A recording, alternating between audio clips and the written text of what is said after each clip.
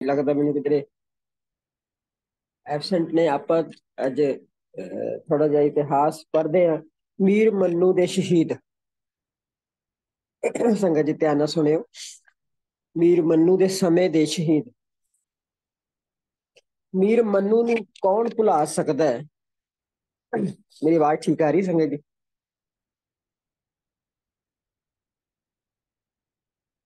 ਮੀਰ ਮੰਨੂ ਨੂੰ ਕੌਣ ਭੁਲਾ ਕੌਣ ਭੁਲਾ ਸਕਦਾ ਹੈ? ਕਹਿਰ ਵਰਤਾਉਣ ਦਾ ਬਾਪ ਰੋਲਾ ਸੀ।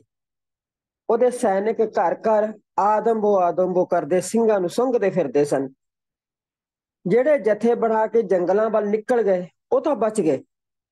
ਪਰ ਜਿਹੜੇ ਸਿੱਖ ਸ਼ਹਿਰਾਂ 'ਚ ਰਹਿ ਗਏ ਉਹਨਾਂ ਦੇ ਸਿਰ ਵੱਢ ਦਿੱਤੇ ਗਏ। ਉਹਨਾਂ ਦੀਆਂ ਔਰਤਾਂ ਤੇ ਬੱਚਿਆਂ ਨੂੰ ਲਾਹੌਰ ਦੀਆਂ ਜੇਲ੍ਹਾਂ ਵਿੱਚ ਡੱਕ ਦਿੱਤਾ ਗਿਆ। ਬਜ਼ੁਰਗ ਔਰਤਾਂ ਤਾਂ ਲੰਮੇ ਪੈਂਡੇ, ਭੁੱਖੀਆਂ ਭਾਣੀਆਂ ਤੁਰਦੀਆਂ ਹੀ ਦਮ ਤੋੜ ਗਈਆਂ। ਬਾਕੀਆਂ ਨੂੰ ਭੁੱਖੀਆਂ ਰੱਖ ਕੇ ਰੋਜ਼ ਤਾਨੇ ਮਿਹਣੇ ਕੱਸੇ ਜਾਂਦੇ, ਕਿਉਂਕਿ ਉਹਨਾਂ ਦੇ ਜ਼ਿਆਦਾਤਰ ਪਤੀਆਂ ਨੂੰ ਵੱਢ ਦਿੱਤਾ ਗਿਆ ਸੀ। ਨਿੱਕੇ ਬੱਚੇ ਗੋਦੀ ਚੁੱਕੇ ਹੋਏ ਸਨ। ਰੋਜ਼ ਜੇਲਾਂ ਵਿੱਚ ਮੁਗਲ ਉਹਨਾਂ ਨੂੰ ਪੁੱਛਦੇ ਕਿ ਹੁਣ ਬੋਲੋ, ਕਿੱਥੇ ਆ ਤੁਹਾਡਾ ਖਾਲਸਾ? ਕੌਣ ਤੁਹਾਨੂੰ ਬਚਾਏਗਾ? ਸਿਰਫ ਸਿੱਖ ਧਰਮ ਤਿਆਗ ਕੇ ਮੁਸਲਮਾਨ ਬਣ ਜਾਓ ਤਾਂ ਐਸ਼ੋ ਆਰਾਮ ਦੀ ਜ਼ਿੰਦਗੀ ਬਤੀਤ ਕਰ ਸਕਦੇ ਹੋ। ਸੰਗਤ ਜੀ, ਕੋਈ ਸੌਖਾ ਕੰਮ ਨਹੀਂ ਸੀ ਉਹਨਾਂ ਲਈ। ਪਤੀ ਸ਼ਹੀਦ ਕਰ ਦਿੱਤੇ ਗਏ ਸਨ। ਘਰ-ਬਾਰ ਲੁੱਟ ਲਿਆ ਗਿਆ ਸੀ। ਭੁੱਖੀਆਂ ਭਾਣੀਆਂ ਜੇਲ੍ਹਾਂ ਦੇ ਵਿੱਚ ਡੱਕੀਆਂ ਜਾਂਦੀਆਂ ਰਹੀਆਂ ਸਨ। ਕਰਲਾਉਂਦੇ ਦੁੱਧ ਪੀਂਦੇ ਬੱਚਿਆਂ ਨਾਲ ਹਨੇਰੇ ਵਿੱਚ, ਮੁਗਲਾਂ ਦੀ ਜੇਲ੍ਹ ਵਿੱਚ ਕੈਦ। ਉਹ ਰੋਜ਼, ਉੱਪਰੋਂ ਰੋਜ਼ ਤਾਨੇ ਮਿਹਣੇ। ਤਨ ਉਹਨਾਂ ਸਿੱਖ ਔਰਤਾਂ ਦੇ ਜਿਗਰੇ। ਇੱਕ ਵਾਰ ਵੀ ਕਿਸੇ ਦਾ ਮਨ ਨਹੀਂ ਡੋਲਿਆ। ਸਿਰਫ ਧੰਨ ਵਾਹਿਗੁਰੂ ਤੇਰਾ ਹੀ ਆਸਰਾ ਉਚਾਰਦੀਆਂ ਰਹੀਆਂ। ਮੀਰ ਮੰਨੂ ਇਹ ਸਭ ਕੁਝ ਸੁਣ ਕੇ ਭੜਕ ਗਿਆ। ਕਿੰਨਾ ਕੁ ਜਿਗਰਾ ਹੋ ਸਕਦਾ ਔਰਤ ਵਿੱਚ? ਉਹਨੂੰ ਪੱਕਾ ਯਕੀਨ ਸੀ ਕਿ ਇਹਨਾਂ ਵਿੱਚੋਂ ਸਿਰਫ ਇੱਕ ਵੀ ਡੋਲ ਗਈ ਤਾਂ ਸਭ ਜਰਕ ਜਾਣਗੀਆਂ ਤੇ ਸਿੱਖ ਧਰਮ ਖਿੰਡ ਪੁੱਟ ਜਾਏਗਾ। ਮੀਰ ਮਨੂ ਜਾਣਦਾ ਸੀ ਕਿ ਸਿਰਫ ਔਰਤਾਂ ਹੀ ਕਿਸੇ ਧਰਮ ਨੂੰ ਅੱਗੇ ਪੂਰਨ ਰੂਪ ਵਿੱਚ ਤੋੜ ਸਕਣ ਦੇ ਸਮਰੱਥ ਹੁੰਦੀਆਂ ਹਨ, ਕਿਉਂਕਿ ਉਹ ਆਪਣੇ ਬੱਚੇ ਨੂੰ ਸਖਤ ਜਾਨ ਬਣਾਉਣ ਦੀ ਤਾਕਤ ਰੱਖਦੀਆਂ ਨੇ। ਮੀਰ ਮੰਨੂ ਨੇ ਭੁੱਖੀਆਂ ਭਾਣੀਆਂ ਮਾਵਾਂ ਕੁੱਛੜ ਬਿਲਕਦੀਆਂ ਨਿੱਕੀਆਂ ਜਾਨਾਂ ਨੂੰ ਲਈ ਬੈਠੀਆਂ, ਅੱਗੇ ਭਾਰੀਆਂ ਪੱਥਰ ਦੀਆਂ ਚੱਕੀਆਂ ਰਖਵਾ ਦਿੱਤੀਆਂ ਤੇ ਨਾਲ ਸਵਾ ਸਵਾ ਮਣ ਦੇ ਸਖਤ ਅਨਾਜ ਧਰ ਦਿੱਤੇ ਕਿ ਇਹ ਰੋਜ਼ ਹਰ ਕਿਸੇ ਨੂੰ ਪੀਸਣਾ ਪਵੇਗਾ। ਬੀਬੀ ਸੁਭਾਗ ਕੌਰ, ਬੀਬੀ ਸੁਭਾਗ ਕੌਰ ਨੇ ਆਪਣੀਆਂ ਸਾਰੀਆਂ ਸਾਥਣਾਂ ਦੇ ਨਾਲ ਬਿਨਾ ਮੱਥੇ ਉੱਤੇ ਰਤਾ ਵੀ ਸ਼ਿਕਨ ਨਹੀਂ ਬਖਾਇਆ ਤੇਰਾ ਦੀਆ, ਤੇਰਾ ਕੀਆ ਮੀਠਾ ਲਾਗੇ, ਸ਼ਬਦ ਉਚਾਰਦਿਆਂ ਚੱਕੀ ਚਲਾਉਣੀ ਸ਼ੁਰੂ ਕਰ ਦਿੱਤੀ। ਜਿਉਂ-ਜਿਉਂ ਮੋਟਾ ਅਨਾਜ ਹੋਰ ਵਧਾਇਆ ਜਾਂਦਾ ਉਨੀ ਹੀ ਸ਼ਬਦ ਦੀ ਆਵਾਜ਼ ਉੱਚੀ ਹੁੰਦੀ ਜਾਂਦੀ। ਵਾਹਿਗੁਰੂ ਵਾਹਿਗੁਰੂ ਤਨ ਸਤਿਗੁਰੂ, ਤੇਰਾ ਹੀ ਆਸਰਾ ਨਾਲ ਜੇਲਾਂ ਦੀਆਂ ਕੰਧਾਂ ਗੁੱਜਣ ਲੱਗ ਪਈਆਂ। ਮੁਗਲ ਪਹਿਰੇਦਾਰਾਂ ਦੇ ਸਿਰ ਪੀੜ ਨਾਲ ਫਟਣ ਲੱਗ ਪਏ। ਸ਼ਿਕਾਇਤ ਫੇਰ ਮੀਰ ਮੰਨੂ ਕੋਲ ਪਹੁੰਚੀ। ਦੱਸਿਆ ਗਿਆ ਕਿ ਸਿੰਗਣੀਆਂ ਤਾਂ ਕਿਸੇ ਹੋਰ ਮਿੱਟੀ ਦੀਆਂ ਬਣੀਆਂ ਨੇ। ਇਹ ਡੋਲ ਨਹੀਂ ਰਹੀਆਂ। ਸਜ਼ਾ ਨੂੰ ਵਾਹਿਗੁਰੂ ਦਾ ਭਾਣਾ ਮੰਨ ਕੇ ਆਨੰਦਿਤ ਹੋ ਜਾਂਦੀਆਂ ਨੇ। ਮੀਰ ਮੰਨੂ ਦੇ ਸੱਤੀ ਕੱਪੜੀ ਅੱਗ ਲੱਗ ਗਈ। ਕਿਉਂ ਇੰਨਾ ਗੁਜ਼ਰਿਆ ਗਿਆ ਹੈ ਕਿ ਇੱਕ ਸਿੱਖ ਔਰਤ ਨੂੰ ਵੀ ਆਪਣਾ ਧਰਮ ਛੱਡਣ ਲਈ ਤਿਆਰ ਨਾ ਕਰ ਸਕੇ। ਉਸਨੇ ਜ਼ੁਲਮ ਦੀ ਅੱਤ ਕਰਨ ਦੀ ਸੋਚੀ। ਮਨ ਵਿੱਚ ਡਰ ਸੀ ਕਿ ਇਹ ਔਰਤਾਂ ਅੱਗੋਂ ਆਪਣੇ ਬੱਚਿਆਂ ਨੂੰ ਬਹੁਤ ਪੱਕਾ ਸਿੱਖ ਬਣਾ ਦੇਣਗੀਆਂ। ਇਸੇ ਲਈ ਉਸਨੇ ਅਨਾਜ ਦੀ ਮਾਤਰਾ ਵਧਾ ਦਿੱਤੀ ਤੇ ਸਾਰਾ ਸਾਰੇ ਦਿਨ ਵਿੱਚ ਸਿਰਫ ਇੱਕ ਨਿੱਕੀ ਕੌਲੀ ਪਾਣੀ ਦੀ ਤੇ ਚੱਪਾ ਰੋਟੀ ਹੀ ਦੇਣੀ ਸ਼ੁਰੂ ਕੀਤੀ, ਜਿਹੜੀਆਂ ਔਰਤਾਂ ਥੱਕ ਕੇ ਬੇਹਾਲ ਹੋ ਜਾਂਦੀਆਂ। ਉਹਨਾਂ ਦੀ ਛਾਤੀ ਉੱਤੇ ਚੱਕੀ ਦਾ ਭਾਰਾ ਪਟ ਰੱਖ ਦਿੱਤਾ ਜਾਂਦਾ ਤੇ ਕਈ ਇਸੇ ਤਰ੍ਹਾਂ ਭੁੱਖੀਆਂ ਭਾਣੀਆਂ ਸ਼ਹੀਦ ਹੋ ਗਈਆਂ। 350 ਸਿੱਖ ਔਰਤਾਂ ਜੋ ਇੰਨਾ ਜ਼ੁਲਮ ਸਹਿਣ ਦੇ ਬਾਅਦ ਵੀ ਜਿੰਦਾ ਰਹਿ ਗਈਆਂ,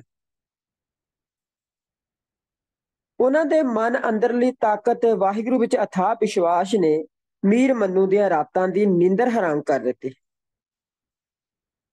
ਇੱਕ ਵੀ ਸਿੱਖ ਔਰਤ ਦਾ ਧਰਮ ਤਬਦੀਲ ਨਾ ਕਰ ਸਕਣ ਦਾ ਗੁੱਸਾ ਮੀਰ ਮੰਨੂ ਨੂੰ ਗੁੱਸੇ ਦੇ ਨਾਲ ਅੰਨਾ ਕਰ ਗਿਆ। ਅਗਲੇ ਦਿਨ ਉਹਨੇ ਹੈਵਾਨੀਅਤ ਦਾ ਨੰਗਾ ਨਾਚ ਕਰਨ ਬਾਰੇ ਫੈਸਲਾ ਲੈ ਲਿਆ। ਸਵੇਰ ਵੇਲੇ ਜੇਲ੍ਹ ਦੇ ਪਹਿਰੇਦਾਰਾਂ ਨੇ ਦਰਵਾਜ਼ਾ ਖੋਲ੍ਹਿਆ ਤੇ ਸਾਹਮਣੇ ਬੈਠੀ ਵਾਹਿਗੁਰੂ ਸਤਨਾਮ ਜਪਦੀ, ਛਾਤੀ ਦਾ ਦੁੱਧ ਪਿਲਾਉਂਦੀ ਬੀਬੀ ਸੁਭਾਗ ਕੌਰ ਕੋਲੋਂ ਉਹਦਾ ਡੇਢ ਬਰਿਆਂ ਦਾ ਬਾਲ ਖੋਲਿਆ ਡੇਢ ਬਰਿਆਂ ਦਾ ਬੱਚਾ ਖੋਲਿਆ ਉਸ ਕੋਲੋਂ ਪੁੱਛਿਆ ਗਿਆ ਕਿ, ਆ ਤੇਰੇ ਕੋਲੋਂ ਅਸੀਂ ਆਖਰੀ ਵਾਰ ਪੁੱਛ ਰਹੇ ਹਾਂ, ਇਸਲਾਮ ਕਬੂਲ ਕਰਕੇ ਐਸ਼ੋ ਆਰਾਮ ਦੀ ਜ਼ਿੰਦਗੀ ਜੀ ਲੈ, ਨਹੀਂ ਤਾਂ ਤੇਰਾ ਬੱਚਾ ਨੇਜਿਆਂ ਦੇ ਨਾਲ ਫੁੰਡ ਦਿੱਤਾ ਜਾਵੇਗਾ।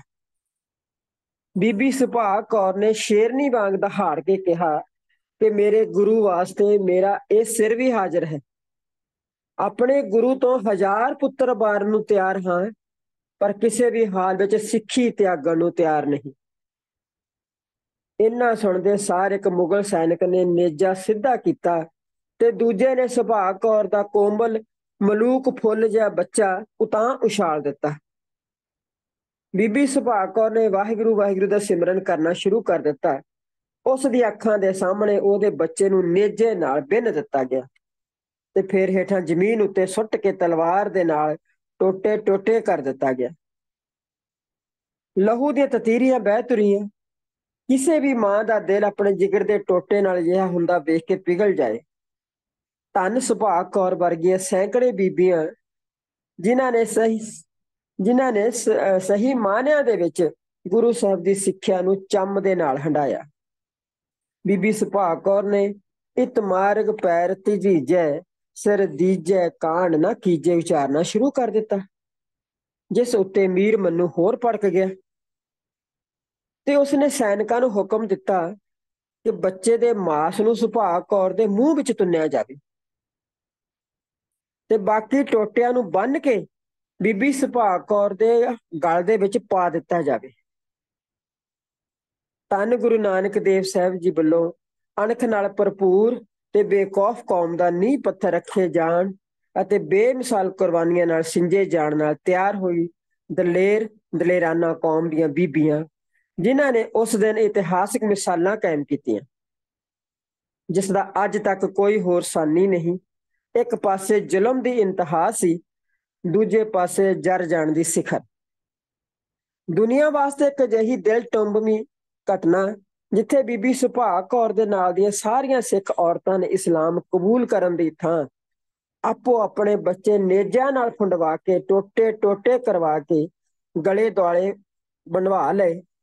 ਉਸ ਬੇਰਹਿਮ ਮੰਨੂ ਵੱਲੋਂ ਇੱਕੋ ਦਿਨ ਸੈਂਕੜੇ ਮਸੂਮ ਸਿੱਖ ਬੱਚਿਆਂ ਦੇ ਟੋਟੇ ਕੀਤੇ ਗਏ। ਪਰ ਕੀ ਮਜਾਲ? ਕਿ ਇੱਕ ਵੀ ਸਿੱਖ ਬੀਬੀ ਨੇ ਗੁਰੂ ਦਾ ਲੜ ਛੱਡਿਆ ਹੋਵੇ ਜਾਂ ਹੰਝੂ ਬਹਾਇਆ ਹੋਵੇ। ਇਹਨਾਂ ਵਿੱਚੋਂ ਇੱਕ ਬੀਬੀ ਲੱਡੀ ਕੌਰ ਅੱਤ ਦੀ ਖੂਬਸੂਰਤ ਸੀ। ਕਾਜੀ ਦਾ ਉਸ ਉੱਤੇ ਦਿਲ ਆ ਗਿਆ ਤੇ ਉਹ ਰੋਜ਼ ਉਸ ਨੂੰ ਵਿਆਹ ਕਰਵਾਉਣ ਉੱਤੇ ਜ਼ੋਰ ਪਾਉਣ ਲੱਗ ਪਿਆ। ਉਹਦਾ ਪੌਣੇ 2 ਸਾਲ ਦਾ ਬੱਚਾ ਸੀ। ਬੀਬੀ ਲੱਡੀ ਕੌਰ ਨੇ ਕਿਸੇ ਵੀ ਹਾਲ ਵਿੱਚ ਆਪਣਾ ਧਰਮ ਛੱਡਣ ਤੋਂ ਨਾ ਕਰ ਦਿੱਤੀ। ਅਖੀਰ ਇੱਕ ਦਿਨ ਕਾਜੀ ਹੁਕਮ ਦੇ ਗਿਆ ਕਿ ਅਗਲੇ ਦਿਨ ਸਵੇਰ ਤੱਕ ਲੱਡੀ ਕੌਰ ਦੇ ਬੱਚੇ ਉੱਤੇ ਰੱਜ ਕੇ ਤਸ਼ੱਦਦ ਕਰੋ। ਜਦ ਤੱਕ ਲੱਡੀ ਕੌਰ ਦਾ ਆਪਣੇ ਧਰਮ ਉੱਤੇ ਵਿਸ਼ਵਾਸ ਡੋਲ ਨਾ ਜਾਏ, ਉਸ ਰਾਤ ਬੀਬੀ ਲੱਡੀ ਕੌਰ ਨੂੰ ਬੰਨ ਦਿੱਤਾ ਗਿਆ ਤੇ ਉਹਦੇ ਬੱਚੇ ਨੂੰ ਪੁੱਠਾ ਟੰਗ ਦਿੱਤਾ ਗਿਆ। ਫਿਰ ਚੀਕ ਦੇ ਕਰਲਾਉਂਦੇ ਬੱਚੇ ਦੀ ਗਰਦਨ ਤੋਂ ਢਿੱਡ ਤੱਕ ਮਾਸ ਚੀਰ ਦਿੱਤਾ ਗਿਆ। ਲਹੂ ਦੀਆਂ ਧਾਰਾਂ ਬਹਿ ਤੁਰੀਆਂ। ਬੱਚਾ ਮਾਂ ਮਾਂ ਚੀਕਦਾ, ਹਾਰੇ ਕੱਢਦਾ ਰਿਹਾ, ਪਰ ਬੇਰਹਿਮਾਂ ਨੂੰ ਤਰਸ ਨਾ ਆਇਆ। ਫਿਰ ਬੱਚੇ ਦੇ ਟੋਟੇ ਟੋਟੇ ਕਰਕੇ ਤੜਫਾ ਤੜਫਾ ਕੇ ਸ਼ਹੀਦ ਕਰ ਦਿੱਤਾ ਗਿਆ। ਬੀਬੀ ਲੱਡੀ ਕੌਰ ਅਡੋਲ ਸ਼ਾਂਤ ਚਿੱਤ ਅਰਦਾਸ ਕਰਦੀ ਰਹੀ, ਗੁਰੂ ਜੀ, ਜਾਨ ਭਾਵੇਂ ਚਲੀ ਜਾਵੇ, ਪਰ ਧਰਮ ਨਹੀਂ ਜਾਣਾ ਚਾਹੀਦਾ। ਬਸ ਇੰਨੀ ਹਿੰਮਤ ਬਖਸ਼ ਦੇਣਾ ਇਹ ਸ਼ਾਂਤ ਚਿੱਤ ਰਹਿਣਾ ਵੀ ਸੈਨਿਕਾਂ ਤੋਂ ਜਰਿਆ ਨਾ ਗਿਆ। ਤੇ ਉਹਨਾਂ ਬੀਬੀ ਲੱਡੀ ਕੌਰ ਨੂੰ ਪੁੱਠਿਆਂ ਟੰਗ ਦਿੱਤਾ। ਫਿਰ ਚਾਬਕ ਮਾਰ-ਮਾਰ ਕੇ ਉਹਦੀ ਚਮੜੀ ਉਧੇੜ ਦਿੱਤੀ। 18 ਘੰਟਿਆਂ ਬਾਅਦ ਉਸ ਨੂੰ ਕੁੱਟ-ਕੁੱਟ ਕੇ ਲਹੂ ਲਹਾਨ ਕਰਨ ਬਾਅਦ ਹੇਠਾਂ ਲਾਇਆ ਗਿਆ। ਫਿਰ ਉਸ ਨੂੰ ਕਾਜੀ ਨਾਲ ਵਿਆਹ ਕਰਨ ਲਈ ਜ਼ੋਰ ਦਿੱਤਾ ਗਿਆ। ਪਰ ਬੀਬੀ ਲੱਡੀ ਕੌਰ ਉਸ ਸਮੇਂ ਖੜੇ ਹੋ ਸਕਣ ਜਾਂ ਤੁਰਨ ਯੋਗ ਵੀ ਨਹੀਂ ਸੀ।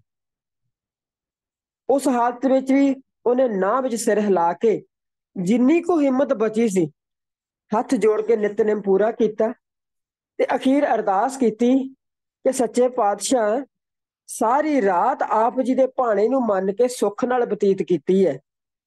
ਆਪ ਜੀ ਨੇ ਆਪਣੀ ਅਮਾਨਤ ਵਾਪਸ ਲੈ ਲਈ। ਉਸ ਲਈ ਆਪ ਜੀ ਦਾ ਕੋਟਾਨ ਕੋਟਾਨ ਧੰਨਵਾਦ। ਅੱਗੇ ਵਾਸਤੇ ਵੀ ਭਾਣਾ ਮੰਨਣ ਦਾ ਬਲ ਬਖਸ਼ਣਾ ਤੇ ਉਦਮ ਕਰਨ ਦੀ ਬਖਸ਼ਿਸ਼ ਦੇਣੀ।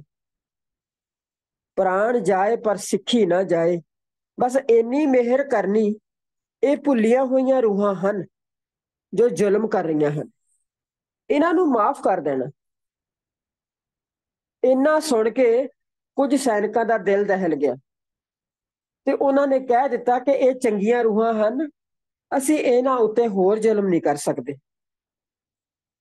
ਇਹ ਇੰਨੀਆਂ ਸਖਤ ਜਾਨ ਹਨ ਕਿ ਕਿਸੇ ਦਿਨ ਇਹਨਾਂ ਦੀ ਕੌਮ ਪੂਰੀ ਦੁਨੀਆ ਵਿੱਚ ਰਾਜ ਕਰਨ ਵਾਲੀ ਹੈ।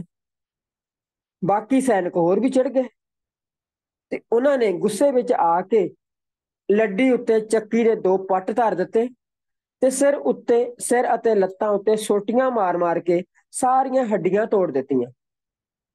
ਆਖਰੀ ਸਾਹ ਤਿਆਗਣ ਤੱਕ ਕਿਸੇ ਇੱਕ ਨੇ ਵੀ ਲੱਡੀ ਕੌਰ ਦੀ ਚੀਕ ਨਹੀਂ ਸੁਣੀ। ਸਿਰਫ ਵਾਹਿਗੁਰੂ ਦਾ ਉਚਾਰਨ ਹੀ ਸੁਣੇ। ਸਿੱਖ ਔਰਤਾਂ ਦੀ ਇਸ ਹਿੰਮਤ ਅੱਗੇ ਪੂਰੀ ਸਿੱਖ ਕੌਮ ਨਤਮਸਤਕ ਹੋਈ ਤੇ ਆਉਣ ਵਾਲੀਆਂ ਸਾਰੀਆਂ ਪੁਸ਼ਤਾਂ ਨੂੰ ਵੀ ਇਹ ਕੁਰਬਾਨੀ ਯਾਦ ਦਿਵਾਉਂਦੇ ਰਹਿਣ ਲਈ ਸਨ 1760 ਵਿੱਚ ਹਰ ਰੋਜ਼ ਸਵੇਰ ਸ਼ਾਮ ਹੋਣ ਵਾਲੀ ਅਰਦਾਸ ਵਿੱਚ ਇਸ ਕੁਰਬਾਨੀ ਦਾ ਜ਼ਿਕਰ ਲਾਜ਼ਮੀ ਕਰ ਦਿੱਤਾ ਗਿਆ। ਤਾਂ ਜੋ ਹਰ ਸਿੰਘਣੀ ਇਸ ਸ਼ਹਾਦਤ ਨੂੰ ਯਾਦ ਕਰਕੇ ਆਪਣੀ ਅੰਦਰਲੀ ਹਿੰਮਤ ਬਰਕਰਾਰ ਰੱਖ ਸਕੇ ਤੇ ਧਰਮ ਵਾਸਤੇ ਹਰ ਕੁਰਬਾਨੀ ਕਰਨ ਨੂੰ ਤਿਆਰ ਰਹੇ। ਅਫਸੋਸ ਸਿਰਫ ਇਹ ਹੈ ਕਿ ਸਿੱਖ ਇਤਿਹਾਸਕਾਰਾਂ ਨੇ ਬੀਬੀ ਸੁਭਾਗ ਕੌਰ ਤੇ ਲੱਡੀ ਕੌਰ ਦੇ ਨਾਲ ਦੀਆਂ 500 ਔਰਤਾਂ ਦੇ ਨਾਮਾਂ ਨੂੰ ਉਜਾਗਰ ਨਹੀਂ ਕੀਤਾ ਤੇ ਉਹਨਾਂ ਸਾਰੀਆਂ ਦੇ ਨਾਂ ਇਤਿਹਾਸ ਵਿੱਚ ਹੀ ਦਫਨ ਹੋ ਚੁੱਕੇ ਨੇ। ਪਰ ਜੋ ਵੀ ਹੋਵੇ, ਇਹ ਲਾਸਾਨੀ ਸ਼ਹਾਦਤ ਕਦੇ ਵੀ ਭੁਲਾਈ ਨਹੀਂ ਜਾ ਸਕਦੀ ਤੇ ਕੌਮ ਹਮੇਸ਼ਾ ਇਹਨਾਂ ਦੀ ਰਿਣੀ ਰਹੇਗੀ। ਇਹਨਾਂ ਸਿੱਖ ਬੀਬੀਆਂ ਨੇ ਆ ਗੁਰਬਾਣੀ ਨੂੰ ਪਿੰਡੇ ਉੱਤੇ ਹੰਡਾ ਕੇ ਸਾਬਤ ਕਰ ਦਿੱਤਾ ਕਿ ਇਤਮਾਰਗ ਪੈਰ ਤਰੀਜੈ ਸਿਰ ਦੀਜੈ ਕਾਣ ਨਾ ਕੀਜੈ।